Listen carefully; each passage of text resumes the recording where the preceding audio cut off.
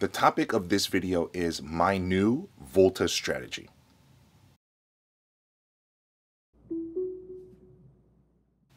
Everything said here is my personal opinion. Nothing said here is professional advice. All right, I've had a few days now to think about the leadership change news and how it was announced. And I, long story short, I think that when the company co founders, CEO, and president resign effective immediately, I think that's bad news. I interpret that as they rage quit. My biggest concern here is that something that's happening at the very highest level of the company is going to, of course, have a ripple effect to the rest of the company. And I have reason to believe that the employees that work at Volta are very dedicated. And I hope that this doesn't shake up morale for them within the company. I think that would be a bigger concern because really, whatever plans that Volta has, whatever plans Scott Mercer put into place, those are probably not going to change for the next six months or a year. Those are already in the works. Okay? They're not just going to make a full stop, cancel all their plans, and then go in a completely different direction. So I hope that the employees over there are going to stick around. I hope that they don't have a brain drain. And that um, I sincerely hope that also Scott Mercer and Chris Wendel have a Steve Jobs like return to the company one day. My voltage strategy going forward, it, long story short, I'm buying the dip. Uh, the past few days, I've been shopping for shares. Uh, the stock is near all time lows. The lowest that it's gotten in the past year is like $2.99, and it is really close to there. I think as of closing on Friday, it's like $3.20 or so. Uh, I had initially bought at around $7 a share, so of course I'm happy to go shopping at $3 a share. I think that they're, in my opinion, this stock is going to go up. It really only can go up. Okay? I use Volta charging stations on a weekly basis, and I'm still enthusiastic about them.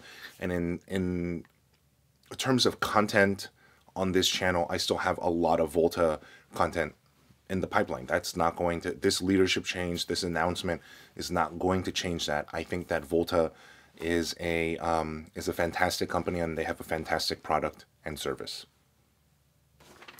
Uh, personally, with me, my current stock allocation with Volta is less than 1% of my entire portfolio. So I'm comfortable adding more.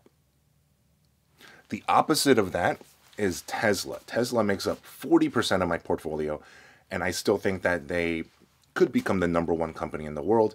But when Tesla has a good day, my portfolio has a great day. When Tesla has a bad day, you know, my portfolio is just tanking. Um, so for Volta, I'm happy to add more because I don't think it's going to fluctuate my portfolio so much. right now, my average buy-in price is around $5. I was initially buying in around 7 I'm scooping up more around 3 so I'm averaging out somewhere in the middle. As an investor, the worst case scenario is that the stock falls to zero. It's like an Enron kind of situation. Stock falls to zero. I don't think that's going to happen here. I think that, um, truth be told, Volta is probably an attractive acquisition target for someone like Google. But, you know, none of us can control Google, and whatever happens, no one knows what's going to happen in the future. Um, the risk to reward ratio is palpable for me. Okay, so I'm happy to scoop up more shares at $3. It's not going to um, destroy me if it if it goes to zero. And lastly, as a side note, my investment strategy is to buy into companies that I use or that I want to use. Okay? So I'll buy into companies such as Tesla, Apple, and Costco. Or I will buy into Lucid, which is a company that I want to use. So here I have the chart for Volta. Okay. And I've got four squiggly lines here. I got Volta, ChargePoint, Blink, and EVgo. Okay, you can see how far down Volta is right here, the dark blue one. Okay, and over the past one year, you can see how these companies have performed on the stock market. Volta is down nearly 70%. And to me, this just simply does not make sense. And I'm speaking not as a financial analyst or anything like that. I'm speaking as a customer. Okay. I use Volta on a weekly basis. I use uh, ChargePoint on a bi weekly basis, so about once every two weeks. I've used Blink once in my entire life, and I've never used EVgo. And for how often I use Volta and how happy Volta makes me, I simply do not understand these charts. I don't understand this drop down.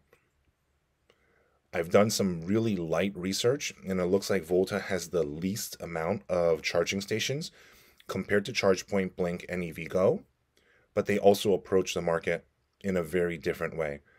This stock price of $3.21 as of right now, it does not make sense to me. I think they're beaten up on bad news. Okay, so that's just about going to wrap it up for this video. Thank you so much for watching. I hope that you found this video helpful. Please consider hitting like and subscribe. Thank you so much. Bye-bye.